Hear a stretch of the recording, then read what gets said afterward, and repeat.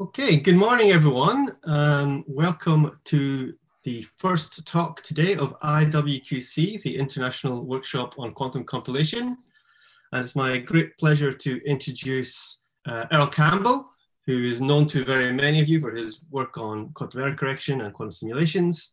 And um, he is a senior lecturer at the University of Sheffield and has recently joined the newly established Amazon Center for Quantum Computing. So Earl's going to talk about random quantum circuits and their uses in compilation, and I'll turn over to Earl now. Cheers. Okay, thank you, Ross. Thanks for the introduction, and thank you for inviting me to speak here today. So I'm going to tell you, I'm kind of going to give a bit of a survey talk on random circuits. So I thought I'd do a survey talk because it's kind of the first uh, session of the meeting on compilation. And also there's kind of an interesting history here, so I was going to run us through that. But all of the work that I'm going to present of my own, which is going to be mixed in with other people's work, was done at Sheffield. And um, any work that I did at Sheffield was in collaboration with Yingkai, Yu Yang, and David White, whilst um, they were postdocs in my group. So since then, as Ross said, I've uh, joined AWS Quantum, but I won't be talking about any of that work today. Oh, Okay, so very briefly, because I guess anyone that's listening to this conference knows what compilation is, is the idea that you want to uh, kind of compress the number of gates that you have in some algorithms. You want to take some large, messy code for a quantum algorithm and you want to compress it down in something that's smaller and leaner and meaner. And I guess most people, when they think about compilation, will think about some deterministic process where you put something in and you get something definite out. But the, the question I want to ask in this talk is, can randomization help? So by randomization, I mean some series of coin tosses that you make in the algorithm where you decide to do one gate or a different gate depending on the outcome of that coin toss. And uh, so, for instance, every time you run the algorithm, it might run a different actual sequence of gates. And as I said, it's going to be a um, kind of historical overview talk in some regards. I'm going to bring us through the many eras of quantum compilation, starting from way back in antiquity, when all we had was the Solovay-Kitaev theorem, and then there's this kind of like period that I almost call the Dark Ages. Sorry, bit of a sore throat. Almost called the Dark Ages, but decided that wasn't quite fair, so called it the Middle Ages. So this is an era where there wasn't a huge number of new results, and lots of it was kind of working out the details of Solovay-Kitaev. But then there's this period that many people refer to as the Renaissance in quantum compilation. You often refer, see it referred to that um, as the Renaissance in the introduction papers. And uh, I guess the key thing that changed here is that people started to focus on specific gate sets like Clifford plus T, and they started to use insights from number theory in order to design better compilers. So here I'm just going to highlight three interesting papers from this period. But I feel like something has kind of fundamentally changed since this Renaissance period. Now there's this huge explosion in the field. There's whole conferences dedicated to this topic. Um, there's many different directions that the field is going in, including lots of software platforms being developed and lots of software tools which weren't previously there, and also many different theory results. So in this kind of early industrial period over here, um, hopefully you can see my, my, my mouse. Um, from this point onwards, I kind of really specialize into a subtopic of random compilation. I'm going to give you a kind of slightly biased survey. Oh, uh, hang on. Okay a slightly biased survey, starting off with some work that I did, which uh, there was similar work by Hastings around the same time on the very general idea of how you use randomization to help you in compiling. And then there's kind of a series of papers that look specifically at Hamiltonian simulation and how randomization can help with that, with that particular problem. And then I'm going to finish off by just telling you about a recent paper from Caltech. So again, these, these two papers are ones that were not inside my group. And so this last paper is actually looking at the idea of de-randomization, what happens if you take a randomized compiler and then just look at one instance of it? What can you say about the performance of that individual instance? Okay, so starting with the review material. So a gate set, the kind of instruction set that we build our compilation out of our, um, our circuit out of is G. So it might contain some elements A, B, and C. And we build up circuits through sequences of these things. So words built out of this alphabet of gates. And roughly we say a gate set's universal if it can implement any unitary up to some finite precision. But more precisely, what we mean when we say a gate set is universal is if for any target unitary V, any, any epsilon bigger than zero, there exists a finite length circuit built out of elements of our gate set, so some sequence of um, some sequence of gates forming a word, such that uh, the distance between this u, which we know how to implement, and v is smaller than the target precision. So an example of a universal gate set is Clifford plus T or Clifford plus Toffoli. I imagine many of you know what that means, and uh, uh, I'll be recapping it later on if that isn't clear. So we also have to associate a cost model with the gate set.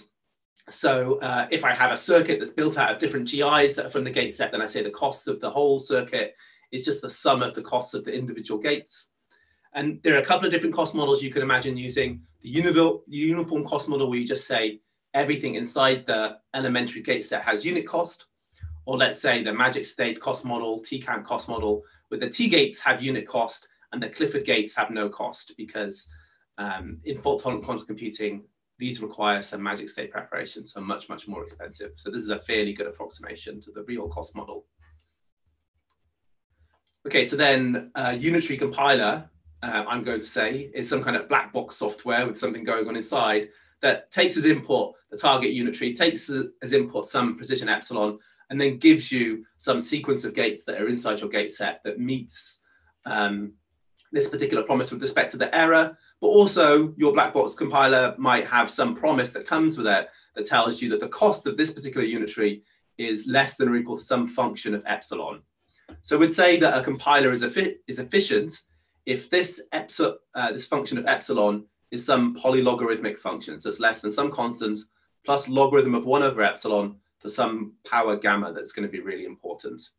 And the optimal compiler is the one that achieves the lowest possible cost or the lowest possible promise, f of epsilon. So kind of maybe surprisingly, very early on, it was found out that any gate set that was universal is not just universal, but efficient. So this was proved by the Solovay-Kitaev theorem, and I believe there's a paper by Kitaev that I've not read, and some kind of email claim by Solovay stating this. And this says that for any gate set, um, which it, yeah, so for any gate set which contains its own inverses, and um, with a uniform cost model, there exists an algorithm that can solve the problem where the cost is always bounded by some big O logarithm 1 over epsilon to some power gamma.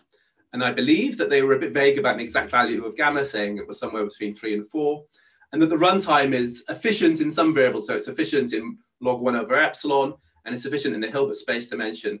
But this algorithm does require multiplying matrices together. And so as the Hilbert space dimension gets larger, it's going to become impractical because the matrices are going to be too large to multiply together. But one can hope to use Solovay-Kitaev at kind of modest size um, for modest size problems. But an important question is, what is the constant gamma. And so uh, in this kind of middle era where people were working out the details of the very fundamentals of gate combination and Solovay-Kitaev, there were a couple of interesting things that you can look at on this, including Aram Harrow's uh, bachelor's thesis, I believe it was, and also this nice review paper by Dawson and Nielsen. And in both of these works, they explicitly say, they give an explicit description of Solovay-Kitaev and show that this exponent here in the cost is 3.97. And there's some constant prefactor, which is going to naturally grow with the size of the Hilbert space. So a natural question you might ask is, is Solovay-Kitaev optimal? And the answer is no. And in fact, that was also proved very, very early on. All the way back in 2002, Harrow, Recht, and Chuang showed that if you have any uh, universal gate set with a uniform cost, then there's going to exist there exists a solution to the compiling problem with a cost that's less than some function of log 1 over epsilon. So um, the gamma value here, there's no gamma because it's equal to 1. And they can show that up to constant prefactors, this is optimal. So there's no constructive algorithm given here, unless you mean by constructive algorithm just search through every possible circuit that you could imagine implementing and check what the cost of each of them is and then choose the best one. And essentially, that's how the proof goes. It basically kind of um, describes all possible words that you could build out of your elementary gates and shows that there's at least one of them that has the desired precision, but it doesn't tell you how to find it other than just scanning through everything. So even in this kind of very early period of the field, you have these two results in tension that we know that it's theoretically possible to do gate synthesis in a way, in a way that um, depends on the target precision epsilon only in terms of log 1 over epsilon.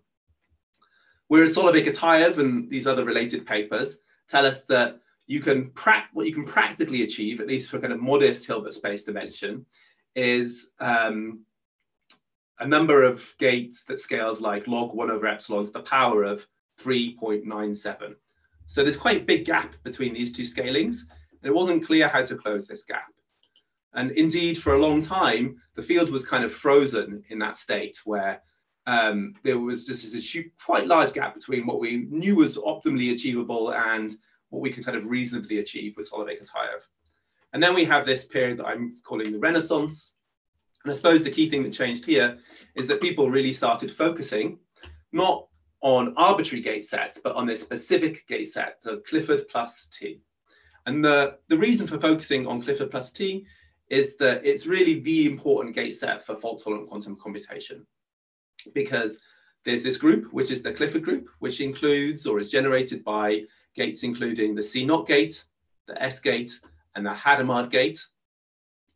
And um, in fault-tolerant quantum computing, often the Clifford group is fairly easy to realize through transversal gates or lattice surgery. And so it's fairly reasonable to assign a cost of zero to those gates. But the T gate is a bit harder to implement, but you can do it using magic state distillation, as I um, mentioned earlier. And so you might apply a cost of one to magic state gates, sorry, T gates.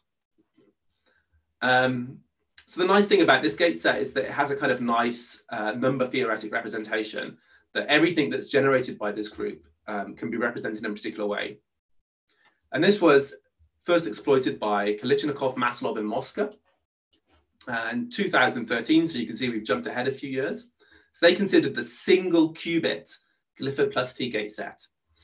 And they showed that any, any unitary that could be realized exactly with some sequence of single qubit Clifford plus T's, they could efficiently compute that circuit, the optimal circuit, and that the um, oh yeah, I haven't put the, the cost here, but the cost would be you know log one over epsilon and some constant outside the front. Oh, sorry, I'm getting mistaken. There's no epsilon because this is exact synthesis.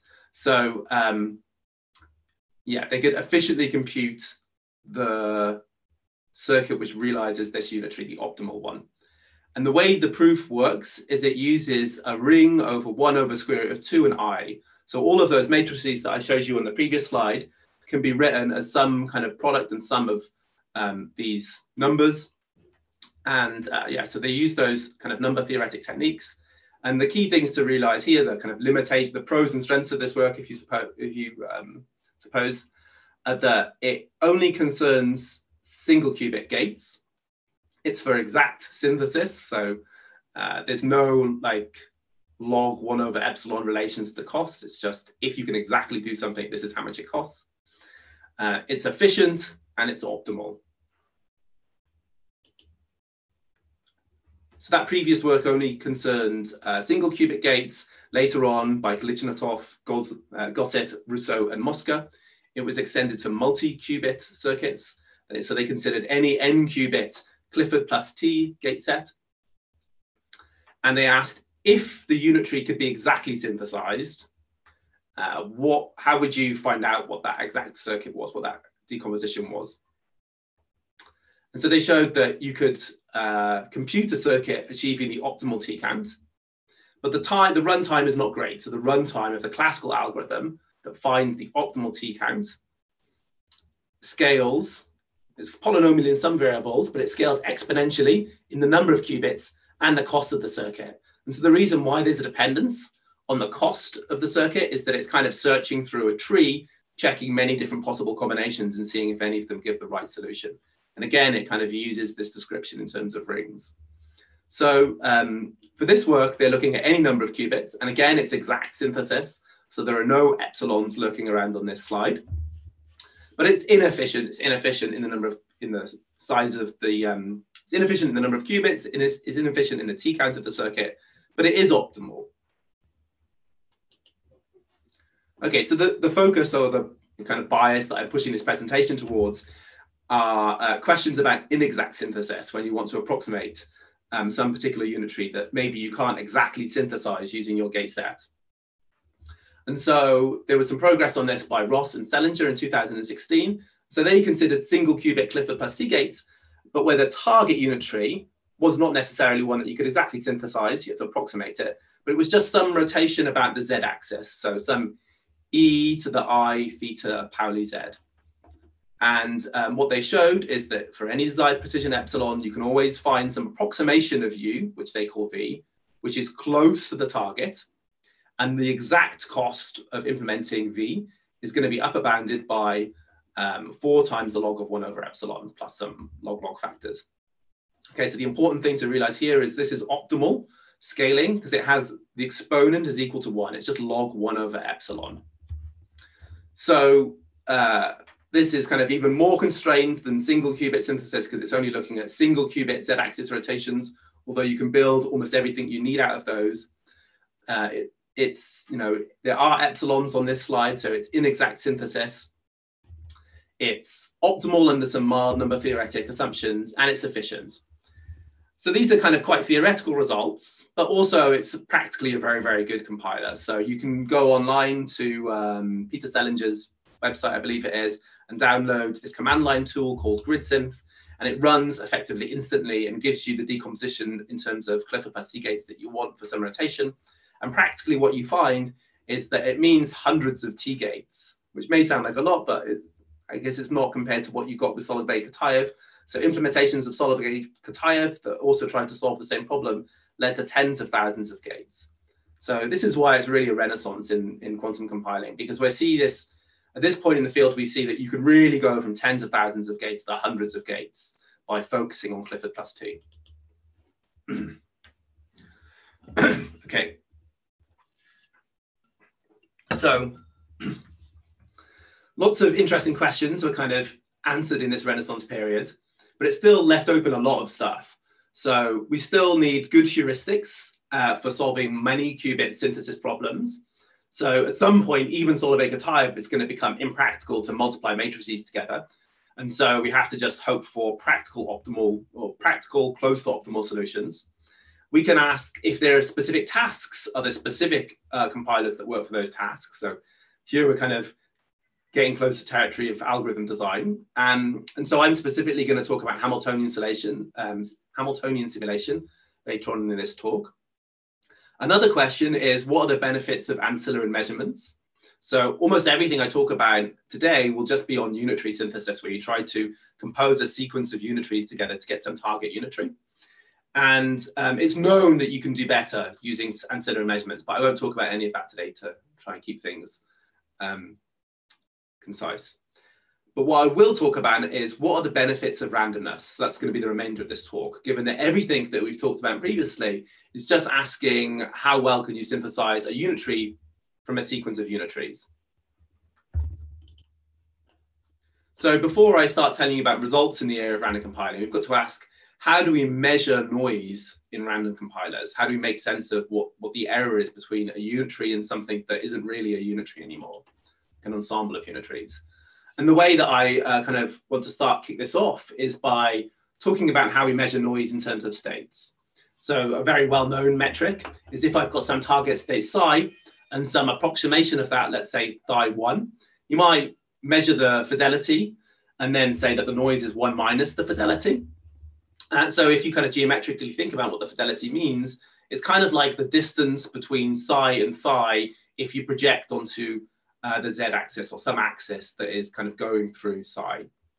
In contrast, uh, another metric, uh, which is the one that I'm really going to focus on more, is the one norm error. So the one norm error uses the, the Schatten one norm. So the Schatten one norm of an operator is just where you kind of take the operator m, multiply it by m dagger, square root, and trace.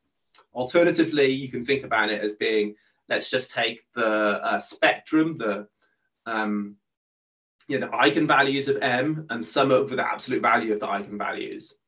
Okay, so that's what the one norm is. And the one norm error is just what you get if you take two states, take the density matrix and subtract them from each other, and then take the one norm. And so geometrically, at least for a single qubit, what you see is that the one norm error really kind of corresponds to the Euclidean distance between two points. And it's obvious by looking at these two pictures that this distance is much longer than this one. And you can check that for pure states, this thing is going to be like the square root of the error for the infidelity. And taking the square root of a small number, you'll end up with a larger number. And so the one norm error is larger than the fidelity. But the case that I want to make is that it's actually the relevant thing in many cases. So for instance, if we measure some observable or at the end of our computation, we just measure some, you know, we measure some qubit, then the, uh, I guess one thing that you might be interested in is what's the probability of getting two different uh, outcomes, like say outcome plus or outcome minus if you measure the X operator for psi relative to the approximation. And what you can show is that the error in the different in the probability distribution that you have is upper bounded by the one norm error between the states. It's not related to the fidelity. The fidelity does not tell you anything about the uh, fluctuations in probabilities in, in the output of your computation. Um, it only tells you something about those kind of fluctuations in probabilities insofar as when you know the fidelity, you can drive a one norm bound.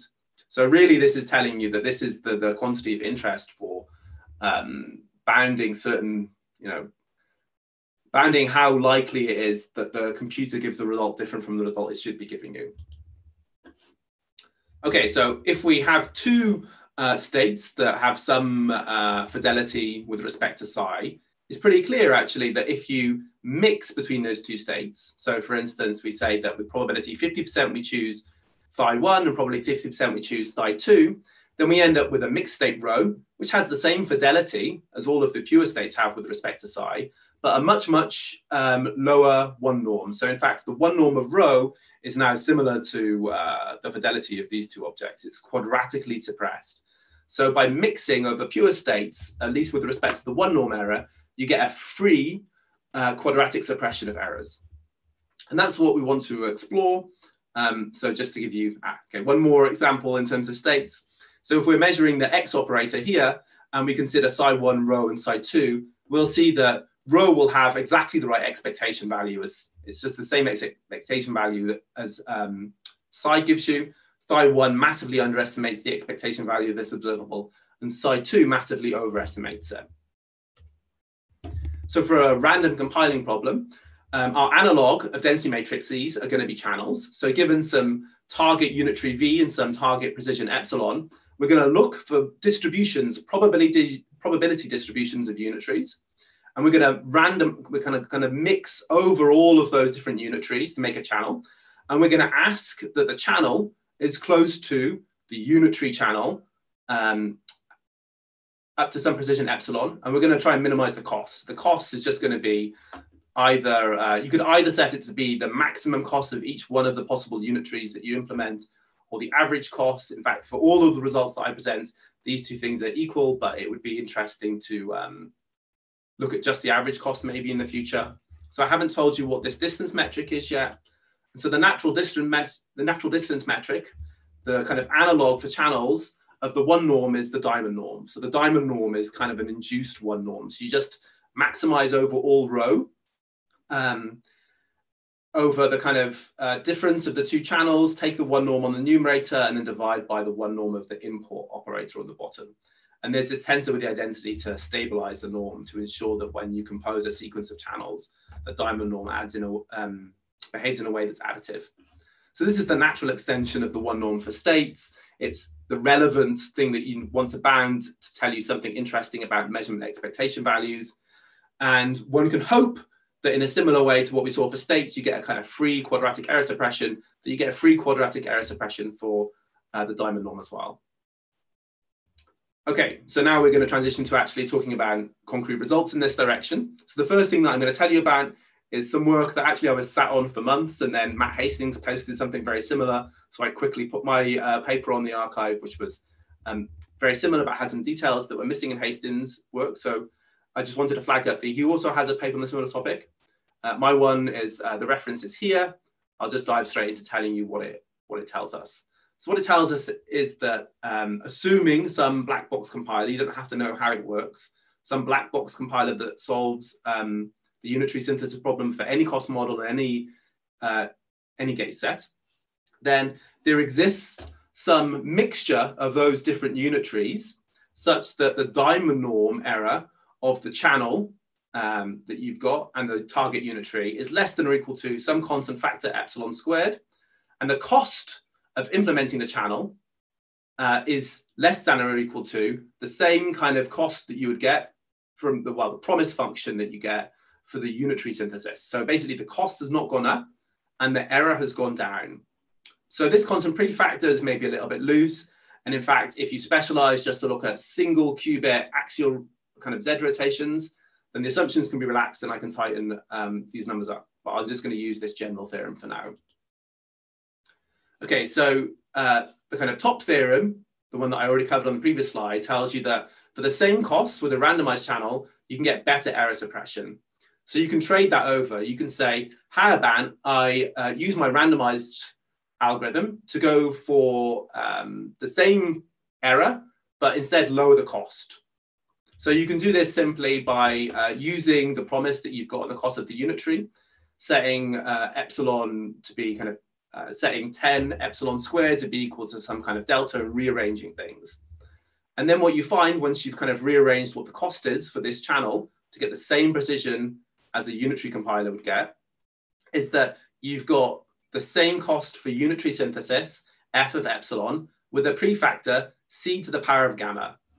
So c is this kind of like slightly ugly looking function here, but as epsilon goes to zero, this constant is just equal to one half. So that tells you that the resource saving is one half to the power of gamma relative to the cost that you would have had to pay if you were just using unitary synthesis. So let's look at that for some examples. So we're saying that the resource saving in terms of cost is two to the power of gamma.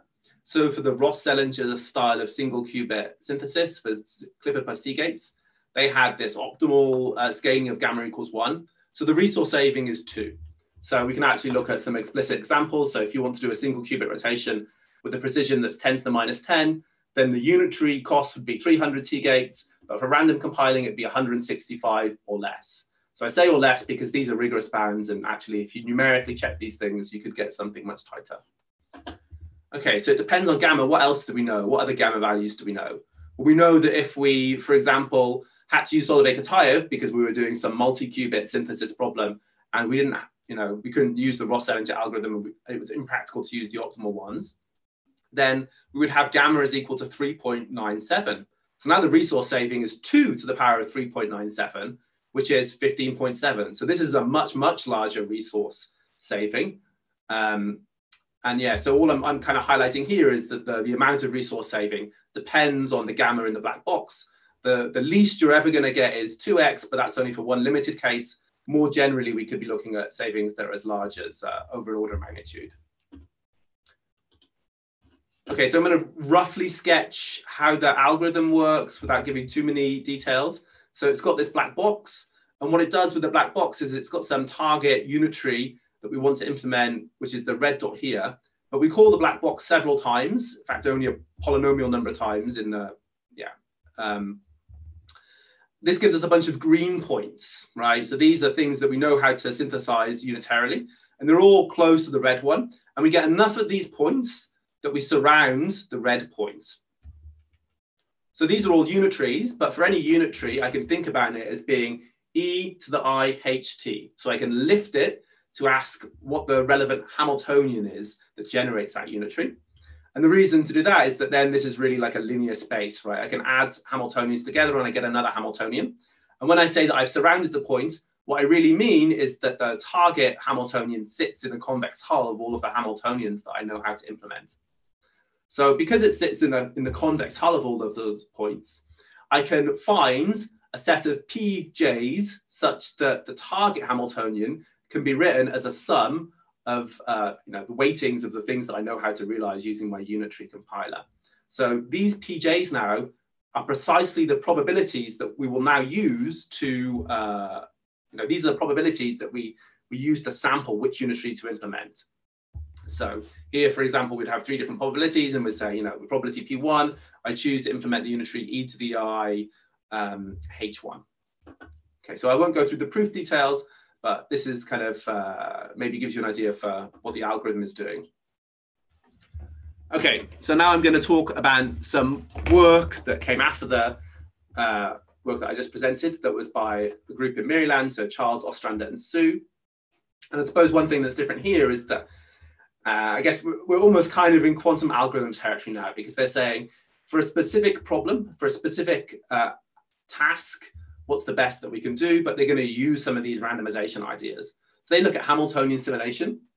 So in Hamiltonian simulation, you've got some fixed Hamiltonian. So I'm going to write it as sum over Cj, Hj.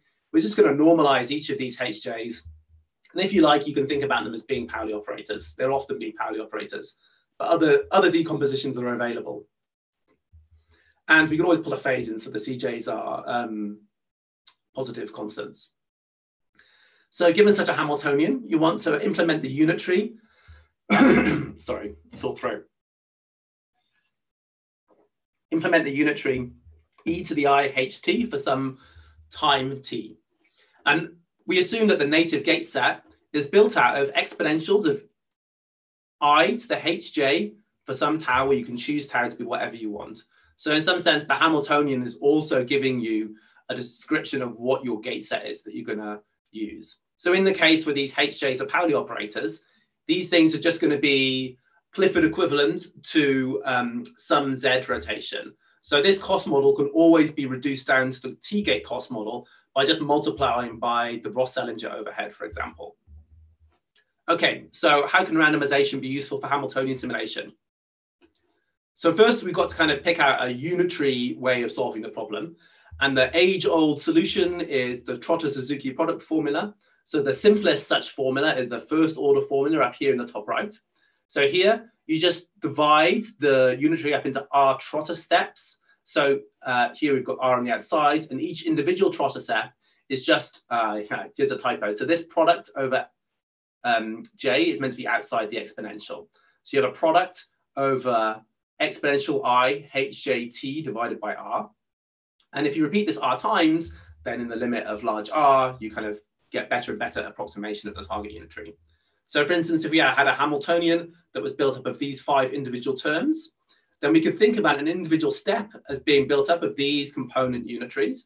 And the way that I'm going to kind of graphically notate these things is I'm going to use color for different Hamiltonians, but I'm going to make the width of each segment proportional to the amount of time that it runs for. So what you can see is that if the coefficient is larger in front of one of these terms, I'm going to run it for a longer time for that particular component gate in the, in the trotter step.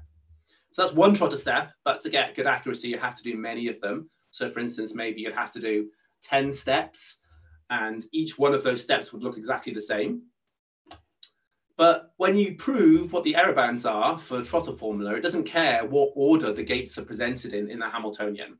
And so I could take a trotter step like this and repeat it many times, or like this and repeat it many times, or like this and repeat it many times. And each one would have the same error.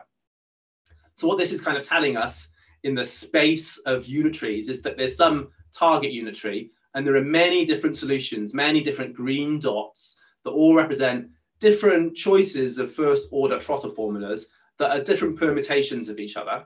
They all kind of come the same distance. So now one can imagine that if I take all of these points and just choose from them randomly, I end up somewhere close in kind of Hamiltonian space to the target unitary. And then you can use something like the kind of Campbell-Hastings type lemma that I was describing in the previous section. So indeed, this is what you would do in the randomized trotter approach that Childs Ostrander and Su proposed. So uh, to contrast, if you had 10 deterministic first order steps, each one would always use the same permutation of gates. Whereas when you use the randomized approach, each individual step has the gates within it random in a randomized order. So you can see, for instance, here in the third step, the gates are in a completely different order to in the second or the fourth step. And what they show is that the, the gate complexity, the number of gates required to get some target precision epsilon depends on L to the 4, T to the um, 2 divided by epsilon in the deterministic case. But in the randomized case, all of these exponents are improved. So the scaling with respect to the number of terms in a Hamiltonian, the time, and also the target precision are all improved. So that's really good. And um, they, the paper, I don't want to give all of the theorem statements because there are many, but it, they also show how this works for higher order trotter. And they have some numerics for the 1D Heisenberg chain. So here are some of the numerics that I've just pulled from the paper. So for first order, you see quite a big gap. but really maybe you want to go to higher order and you see that the gap actually closes when you go to higher and higher, higher orders. Um, the best approach is probably either second or fourth order. So it can, it can be useful, but um, it's not as maybe useful as the first order leads you to think. Okay. So now I'm going to tell you about some specific random compilers that we developed in my group that were targeted at the Hamiltonian simulation problem. So again, just to remind you, in the Hamiltonian simulation problem, we've got a Hamiltonian with L terms in it, with some coefficients, and all of these are normalized, and we want to approximate I to the HT, and we're going to build it up out of uh, rotations that look like uh, the exponential of one of the component Hamiltonians. But the question I want to ask is, what if L, the number of terms in a Hamiltonian, is very, very large? And in fact, we expect it to be large for lots of interesting problems, for instance, quantum chemistry problems, where L is going to scale like or to the to the n4, where n is the number of orbitals or the number of qubits you can think of it as. So, you know, if you've got some Trotter formula which has a complexity that's scaling like L squared, and L is scaling like n to the four, that's telling you that things are going to be very, very bad. It's telling you that the standard Trotter approach is going to have a very large complexity. So that's the question that I was interested in. But also, I wanted to get away from this mindset that we had in the previous results that I showed you, where we were taking a black box compiler and somehow using that as an oracle to help us design uh, randomized compilers. So we're just going to kind of design things from the ground up. And the first solution we came up with, which was called QDrift. Um, so we have the Hamiltonians as stated. And I guess one important quantity of the Hamiltonian is what's the sum of the coefficients, the CJs. That kind of tells you what the size of the Hamiltonian is. And we're going to call that lambda. So what quantum drift proposes to do is that we build a probability distribution and we weight the probability distribution according to the size of each of the HJs in the Hamiltonian. And we just sample from this probability distribution and then we do the corresponding gate. So we do a gate uh, depending on what sample we have. But notice that actually none of the constants in here, like the HJ, which Pauli operator, for example, you implement, depends on the sample. But none of the other constants depend on CJ, only the probability. So what this looks like graphically, so a Q-drift simulation, and a particular instance might look like this down here, where I've got this sequence of kind of colored bars. So you can see that the blue one, let's suppose, as per our previous example, the blue corresponds to some term in the Hamiltonian with a much larger weight. You can see that each blue gate has the same duration, like each implementation of the gate has the same duration as all of the other gates, but it appears more frequently instead. So this is what QDrift would do and what a kind of randomized or a first order trotter approach would do is something that looks more like this, where you vary the gate width. But in fact, um, every term in the Hamiltonian is represented L times. So this is kind of telling you that you're not going to be able to get away from the L, um, the poor scaling with L, um, because you're always implementing all of the gates many, many times. And what I was able to show is that the complexity of Q-drift is indeed independent of L. And this was the first time that it was ever shown. And so the gate complexity depends on this number lambda, which is really telling you how big the Hamiltonian is, the time, and epsilon. The scaling with respect to the time and the epsilon isn't great compared to higher order trotter formulas, uh, but it has the advantage of better scaling with respect to L. And I'll come back to kind of the poor scaling with respect to epsilon in a moment. Um, so I went through a couple of example molecules that were just generated from a standard chemistry package. So like the propane, carbon dioxide, ethane, all things that were more than 40 qubit problems. And plot the black line here is the performance of Q-drift as a function of the time that the gate is implemented for and the number of gates that are required to realize that particular unitary. So what we can see is that at low times, the black line is much, much lower than all of the other lines. So all of these lines represent the blue ones are first order, either deterministic or randomized. So you can see a big gap between deterministic and randomized first order. Then when you go to higher order, the gap's smaller, as I was telling you, had been observed previously. Um, the gap's smaller, but you know, uh, there's still a gap.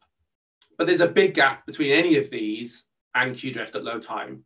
When we got to high times, actually the higher order formulas become better than Q-drift. And the reason for that is that they have a better scaling with respect to t and a better scaling with respect to epsilon. Um, what we're really exploiting here is the fact that we've got better scaling with respect to the number of terms in the Hamiltonian, which is very, very large, right? 240,000 terms in this one, for example. Um, so t equals 6,000, for example, is a, is a relevant time that you might be looking at if you were doing um, something like phase estimation, and you can see at this relevant time, there's several orders of magnitude. So this is 10 to the power of uh, 12 here, and this is like 10 to the power of 17.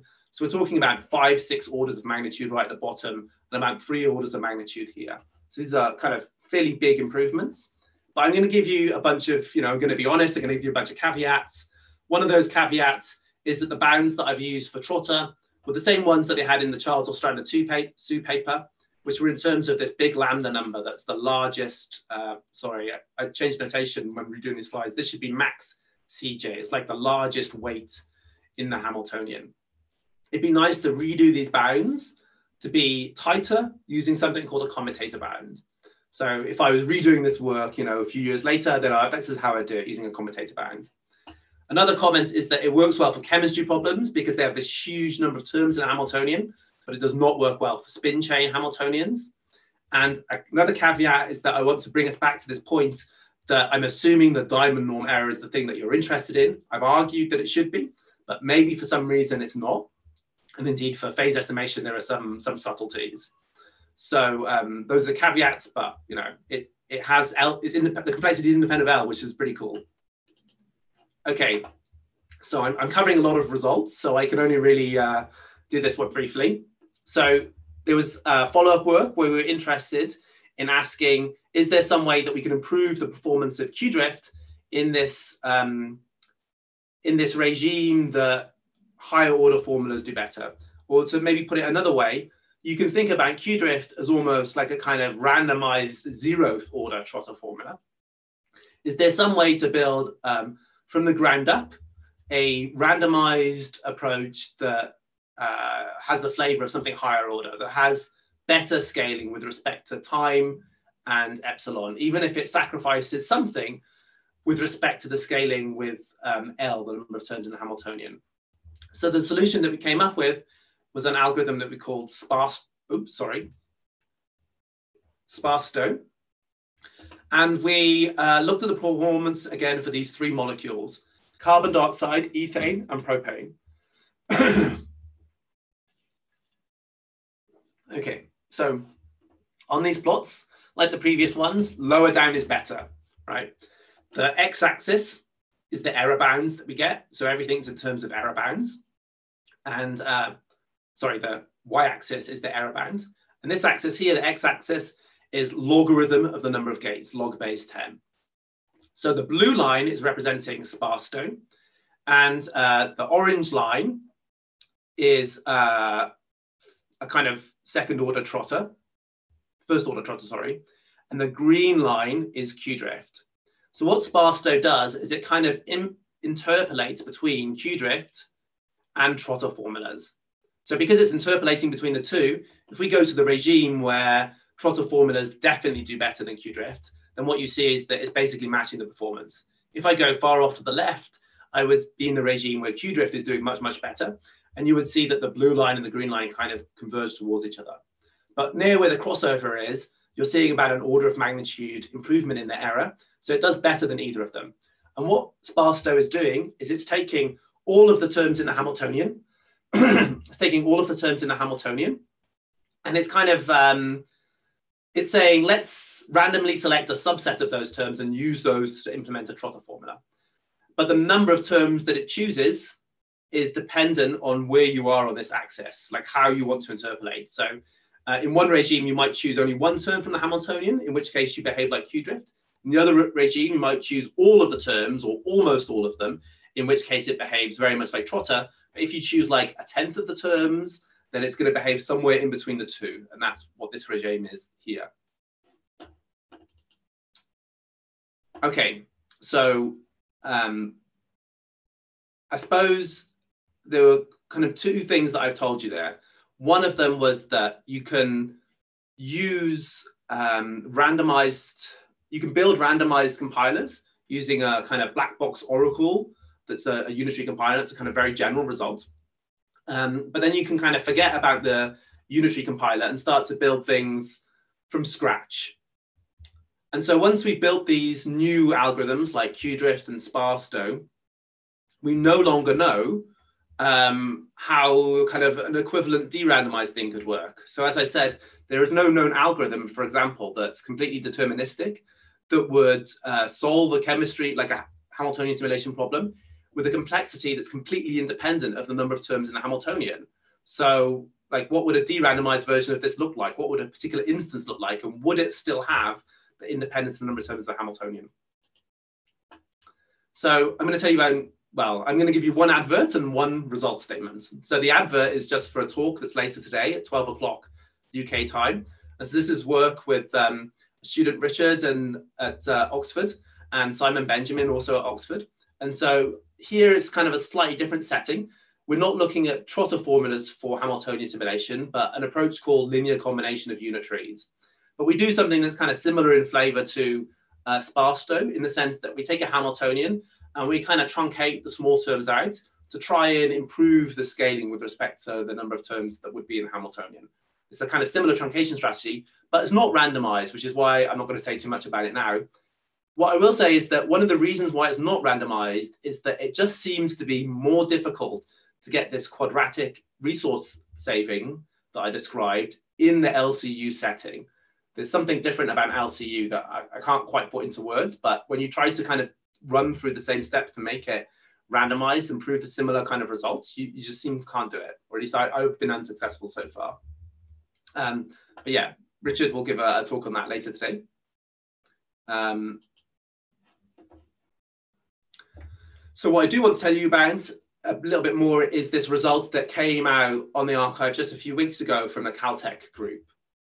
So what they asked was what happens for a specific instance of one of these randomized algorithms. For example, what happens for a single instance of QDrift. So if we kind of pull it back to the state-based picture, because it's a little bit easier to think about than channels, you know, I've given you uh, an algorithm QDrift that generates a random channel, which might be used to prepare some state rho. Uh, if I just run it once, then I obviously I get a pure state rather than a mixed state. What's the um, diamond norm error between this state and the target state psi? We expect it to be worse, but how much worse is it? So what the Caltech group were able to show is that if you take QDrift and you de-randomize it, then you have a gate complexity that is indeed independent of L. So I think this is cool, right? Because it's now a de-randomized protocol. Um, it's, it's giving you a specific unitary. I guess you have to pick it randomly, but once you've chosen it once, you know that that unitary has a diamond norm error that's um, less than error, le less than epsilon with respect to the target. And the gate complexity scales like n t squared lambda squared over epsilon squared. So, you know, this general philosophy about um, quadratically suppressing errors kind of tells us what we expect worse scaling with respect to epsilon. But I suppose something that is a bit of a surprise is that there's an n here as well. So the, the scaling does actually also get worse with respect to the number of qubits in the circuit. But there's no L here, right? So that it is the first time that this has been observed. Now, I should say that um, this scaling here is for the diamond norm error of the unitary with uh, the uh, a single instance of a randomly sampled unitary with respect to the target unitary. They were actually able to get rid of this n in um, a more specialized context where they say, if I'm interested not in how good the unitary is, but how good um, I can prepare a particular state. So if you say, if I um, randomly choose a unitary and apply it to some state, which is maybe also randomly chosen, and compare it to uh, what I would have got with the target unitary, then this n here disappears. There's also several other results in this paper. It's very, very interesting. And the proof technique uses uh, matrix martingales. Okay, so that was my um, kind of history of randomized compiling. So I've got a, a, few minutes just to give you some outlook before we hit to the questions. And so I guess one thing that I'd first like to highlight is that uh, there's not much that's been done in terms of software implementation and experimentation of different randomized protocols, especially with respect to multi-qubit circuits. So everything I've told you about has been kind of pen and paper proofs. But so I think there's a, a lot of scope here to kind of really look at what happens. In particular, although I've not really touched on it, you can you can kind of design these things or refine them to be better than I've described using convex optimization techniques. So you can kind of um, try to minimize certain norms and improve the performance. And this work has not been done. Um, another key question is understanding the role of randomness in some cases like phase estimation.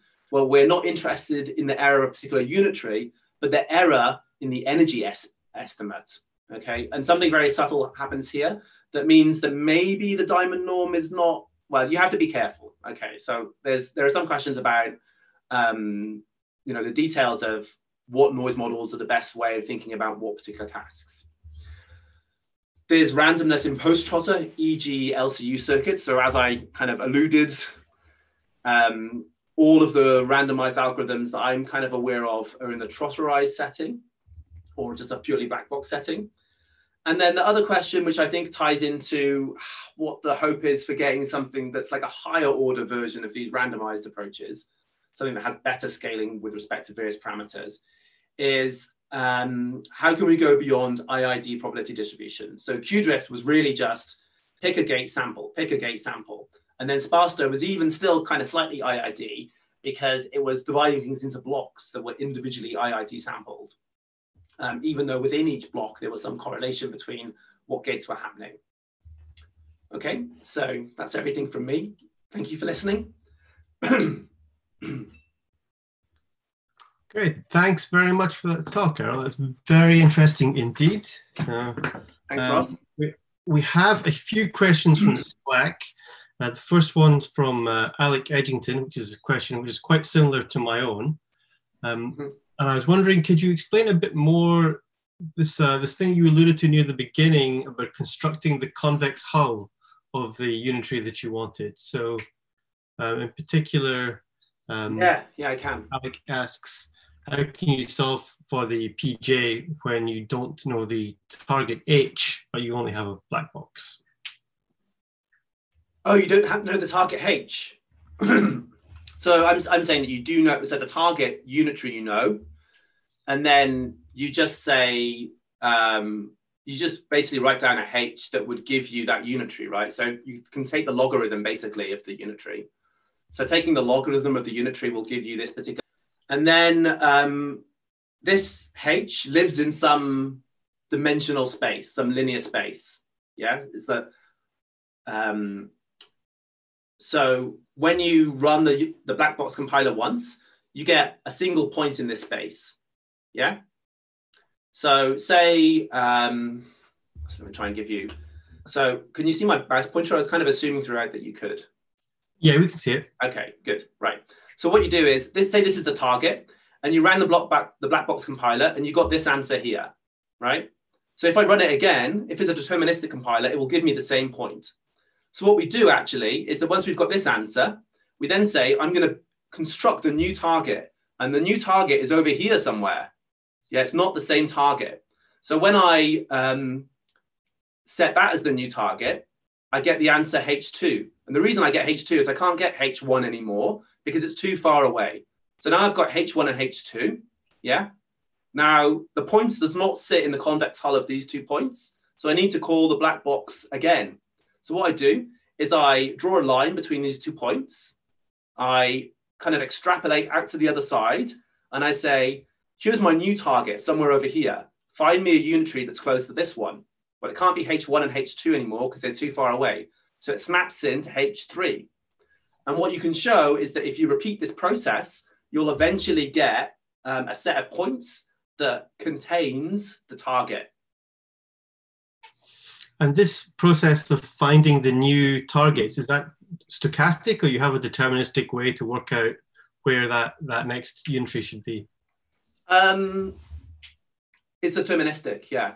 Yeah, so this whole, this, this whole this process here, these three steps, they're all deterministic, assuming that the black box is deterministic, right? So you set a target, you get an answer from the black box, use that to form a new target, you get a new answer from the black box.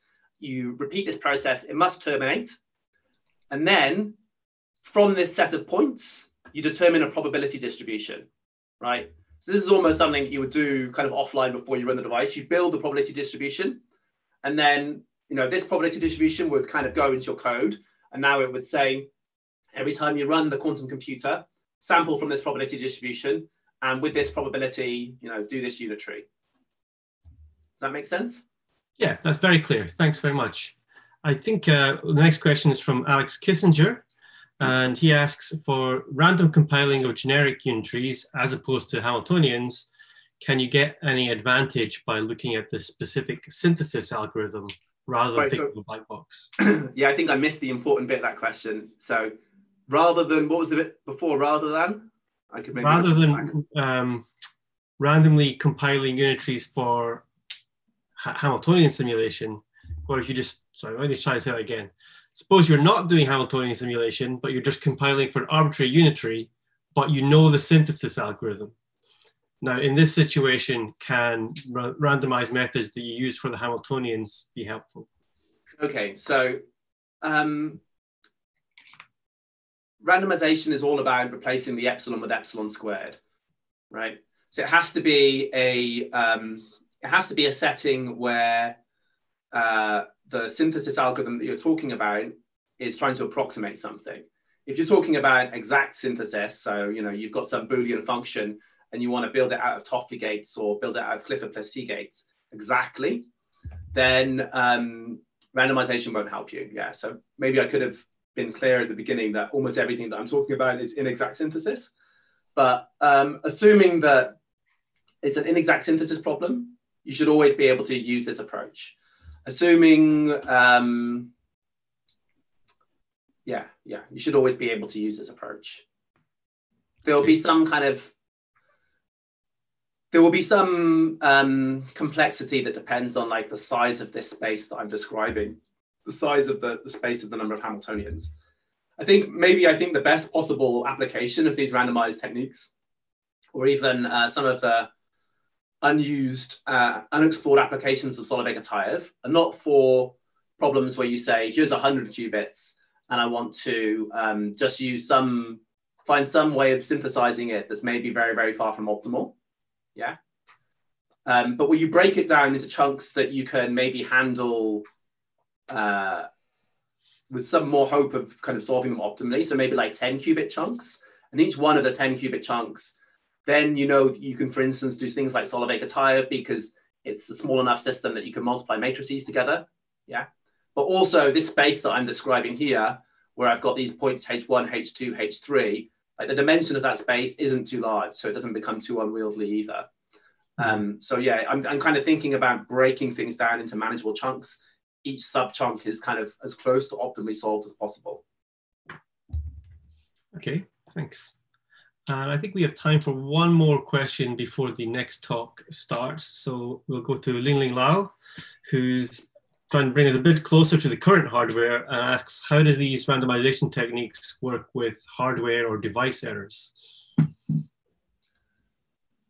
Yeah, um, I guess that's also something that I haven't uh, explored in detail, but you could, um, I guess I was emphasizing either the uniform cost model or a cost model that was like assigning unit cost to T gates and no cost to Clifford gates. But if you're looking at um, near term hardware, for example, then you might assign a different cost model, right? Where two qubit gate has unit cost and a one qubit gate has zero cost. And then if you had some deterministic synthesis algorithm that worked well with respect to that cost model. Then again, you could use this black box approach and try to come up with something that's randomized that does better. Okay, so since that was a very quick answer, I'm going to add a little twist on, on the question saying that just to ask if you looked at any other metrics other than just count metrics. So, for example, in our compiler work, we think all the time about depth rather than gate count. Depth. Um, Hmm. Well, um, I think maybe couldn't depth be rewritten as a cost metric anyway, right? So yeah. So my question is, did you did you actually look at, at that metric or or any? No, other? I didn't. No, I didn't. But the way I would do handle it is maybe say that like um, there's one unitary in the gate set which corresponds to a single qubit unitary everywhere, and that has cost one. And then there's another unitary which is also like all possible depth one circuits, and that has cost one. Mm-hmm. Yeah. So depth can also be expressed as one of these cost metrics, but it requires you to kind of describe the um, generating data set in a in a way such that everything is step one. Okay, um, I think there are no more questions in the Slack. So this seems like an ideal time for us to end the end the talk. So thank you very much, Earl, for your your lecture. It was great. Uh, I certainly learned a lot, and uh, I guess we can all give a round of applause